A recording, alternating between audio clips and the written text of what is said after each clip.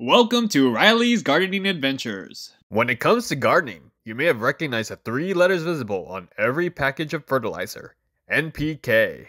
NPK stands for the three main macronutrients of plants nitrogen, phosphorus, and potassium.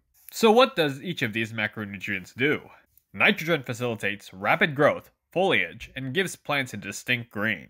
Phosphorus facilitates root development, flowers, and fruit production and potassium facilitates strong stems and overall plant health. When it comes to tomatoes, we want fruits. So it begs the question, why not focus on phosphorus? So I googled the internet to find an answer, and all I could find was a 13-year-old post on a forum and a video about bloom boosting by a millennial gardener. Nothing answered my question. So I said, fine, I'll do it myself. What I have here is Miracle-Gro Bloom Booster. Uh, Bloom Booster is a heavy phosphorus special fertilizer meant for flowers, which is a 10-52 10 NPK ratio, so five times heavy in phosphorus than the nitrogen and potassium. Now what I'm going to do is feed a tomato plant from transplant all the way to maturity with just Bloom Booster and see how the plant compares to Osmocote. Now, Osmocote is my balanced fertilizer I've been using for the 2022 summer season, which is a 14, 14, 14 fertilizer. So nothing heavier in, in each side and all balanced. Now, as you see with my past videos, I've had decent yields and decent fruits, but I want to have a little bit better. So my theory is, is with a high phosphorus fertilizer, I can basically manipulate lots of tomato and flower growth. So the tomato variety I'm testing this on is Burpee's Sandwich Slicer Hybrid. So the reason why I picked this variety is because it's very, very basic. It's six to eight ounces with a 70 day maturity. Um, and it boasts a certain degree of unspecified disease resistance. So it's red and it's globe shaped and nothing really special. Now I have some transplants already of the Sandwich Slicer Hybrid and right here will be my Bloom Booster transplant and this one will be my Osmocote only transplant. Now both of these have been only receiving the standard potting mix so far as nutrition, but as I transplant them, they will be using the Bloom Booster and the Osmocote.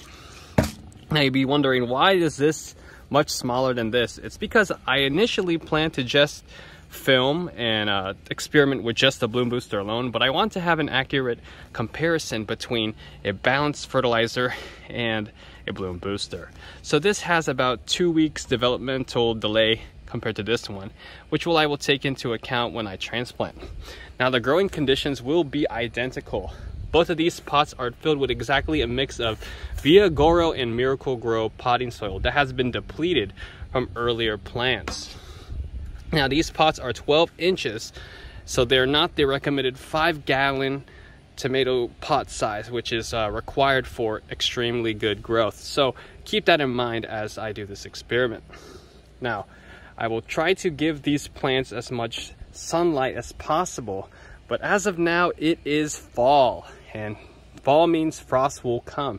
So I will have to start growing them indoors with grow lights. I have two identical grow lights which I will be using. Other conditions will include single stemming and equal amounts of water. Now I chose one branch so suckers will not play a factor in skewing up fruit results. Now I'm not sponsor or I prefer any of these brands over the other, but I just wanted to experiment for myself and I want to see if either of these methods are better than the other and if whatever I find better I will implement it heavily into my 2023 summer season with my new tomato lineup. I want to have the best for my tomatoes and this is why I'm doing the experiment. And in 70 days I will post a part 2 of this video which will compare the two fruits and I will do a taste test of both of them just to see if Bloom Booster actually manipulated better blooms and better flower and fruit production compared to the balanced fertilizer.